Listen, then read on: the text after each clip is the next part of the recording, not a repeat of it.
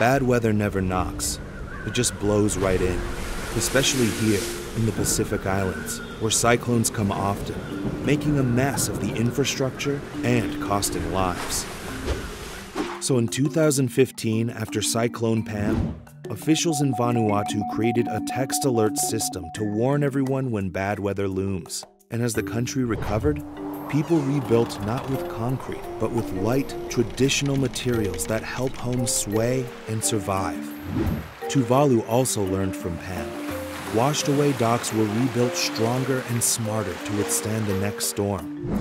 There's always a next storm, but while we can't change the weather, we can be ready for it. The IMF values preparation, and we encourage the world to do more.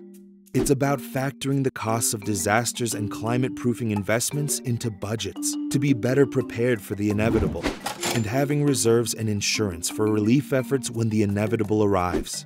In Tonga, it's meant strengthening the electric grid to handle winds and rain. Fiji moved cables underground after Cyclone Winston hit, and Fiji and Vanuatu both helped storm victims with cash payments and vouchers for food and shelter. Smart planning starts with smart budgets.